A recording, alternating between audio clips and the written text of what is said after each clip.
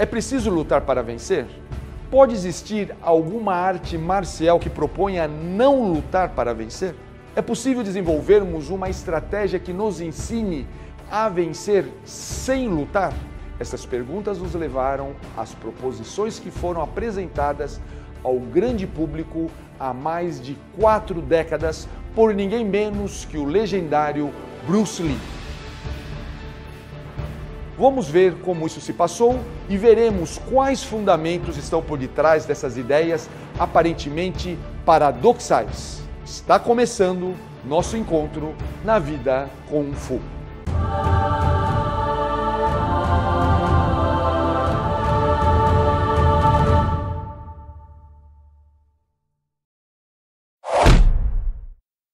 Em agosto de 1973, Enter the Dragon foi lançado nos Estados Unidos e apresentou em escala mundial o artista marcial Bruce Lee.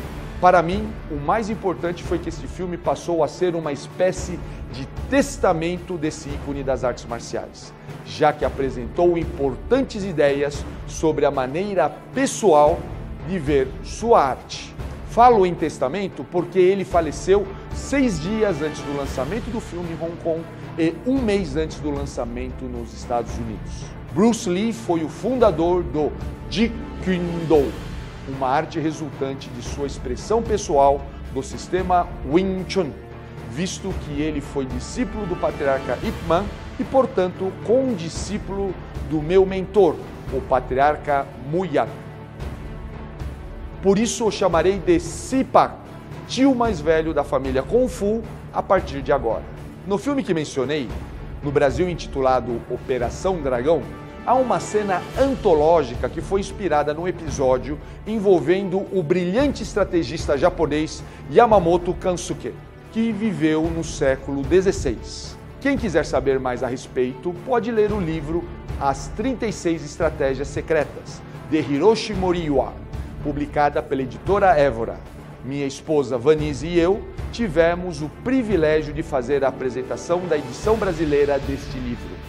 Mas vamos à cena que quero discutir do filme Operação Dragão.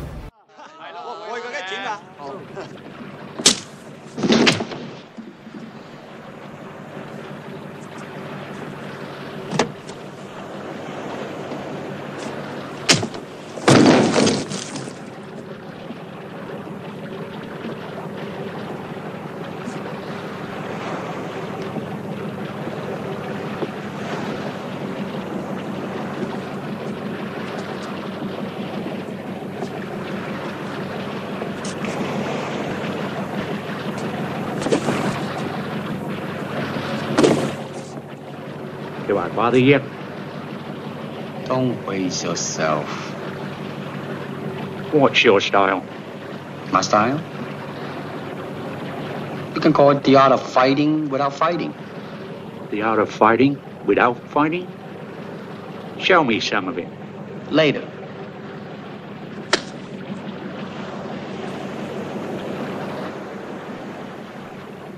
All right. Don't you think we need more room? Where else? That island on a beach. We can take this boat.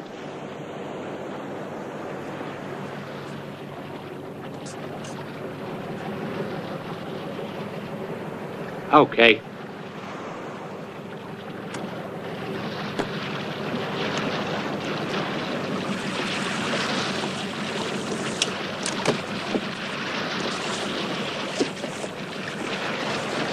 Hey!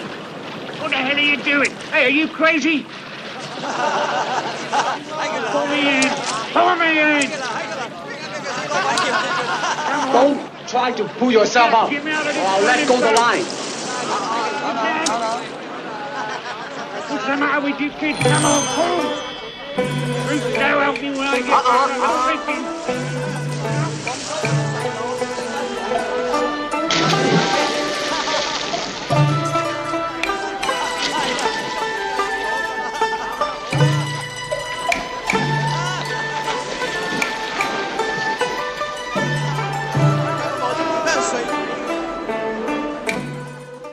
Neste momento, é importante fazer uma distinção entre luta e arte marcial. A arte, dentro de seu processo criativo, busca gerar um significado único e particularizado da sua manifestação. Essa diferenciação pode ir ao extremo de negar ela mesma. É a arte de vender sem vender, onde o vendedor excepcional não busca vender, mas sim levar o cliente a comprar.